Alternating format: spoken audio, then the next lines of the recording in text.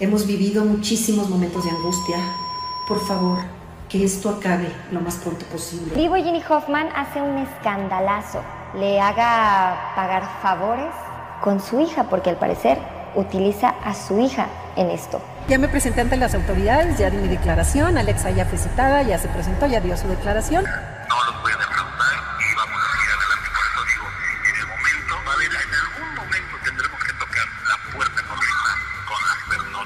Nosotras sabemos realmente qué fue lo que pasó, cómo pasó, y pues eso se explica ante, ante las autoridades. Ginny Hoffman hace todo un gran escándalo en vivo, además quizá le haga pagar favores con su hija.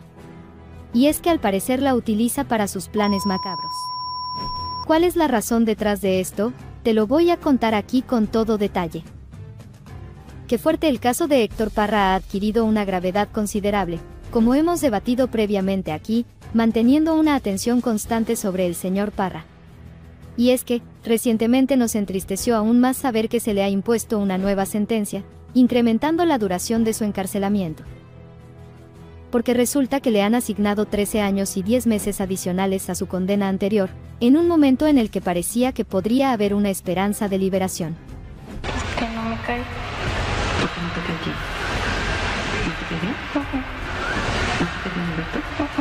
Ok, entonces no tienes nada que hacer en esta casa.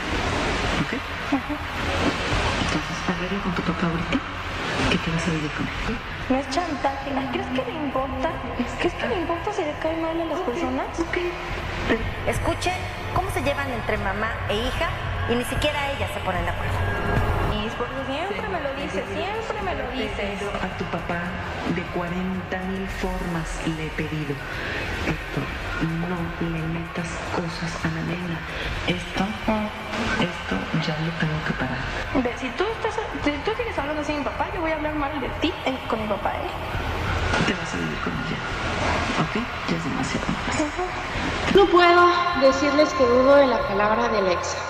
Lo que me provoca todo este sentimiento es la forma en que se expresa mi tía. Tratando de aguantarme muchas cosas, mami, que tú no sabes.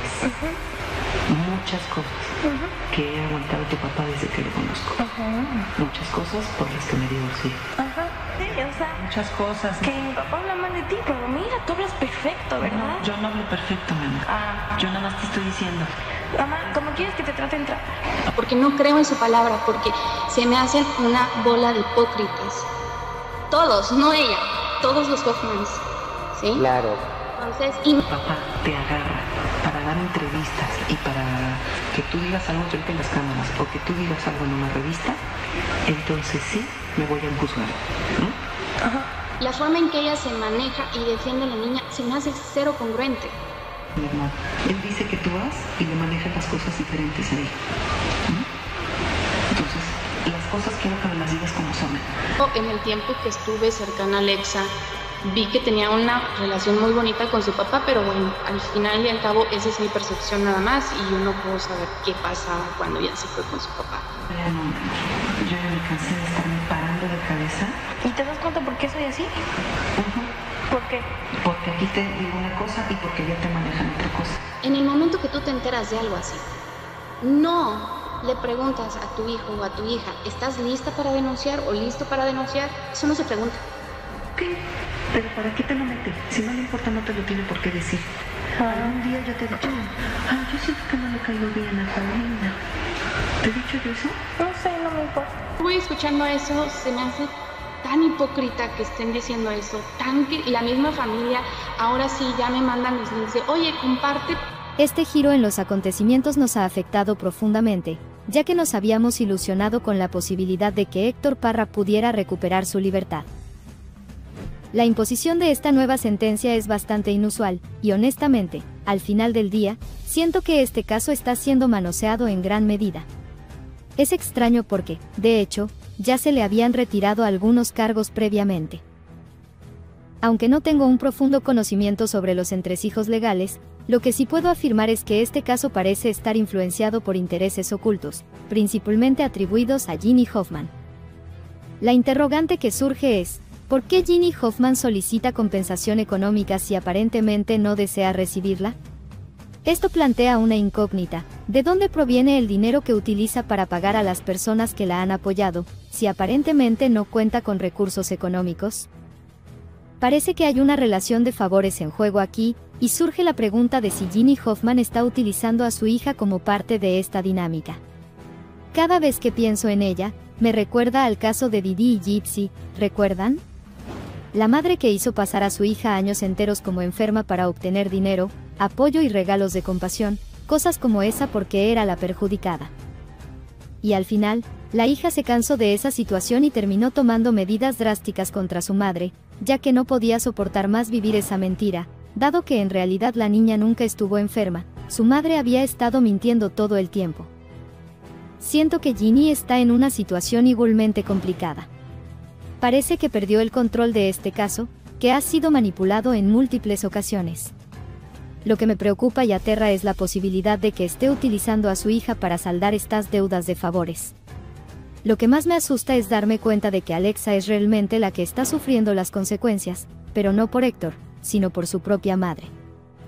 Me van a perdonar pero considero que esta señora Ginny no está nada bien, con referente a esta situación. Es cierto que la falta de pruebas concretas puede generar escepticismo. Por ejemplo, en una situación tan seria como el presunto hostigamiento a su hija menor, lo lógico sería buscar la intervención de las autoridades de inmediato para buscar justicia, como ella afirma estar haciendo. El hecho de esperar tantos años antes de actuar, además, optar por vender la historia a una revista en lugar de buscar ayuda legal primero, genera ciertas interrogantes. Es comprensible que este tipo de acciones puedan sembrar dudas sobre la credibilidad de la narrativa de Ginny, si es capaz de vender una historia tan delicada, uno podría preguntarse si estaría dispuesta a sacrificarla.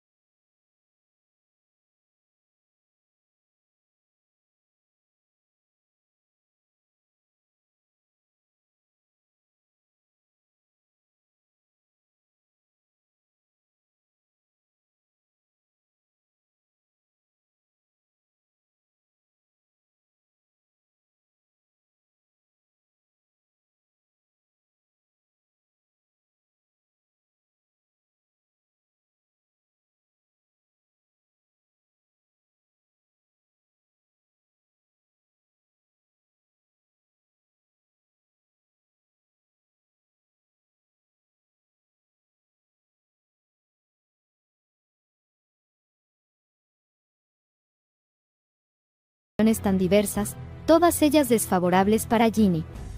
Resulta difícil creer que las autoridades continúen respaldando este caso. Una señal más de esto es el hecho de que la señora sea litigiosa y no tolere que le digan cuál es la verdad.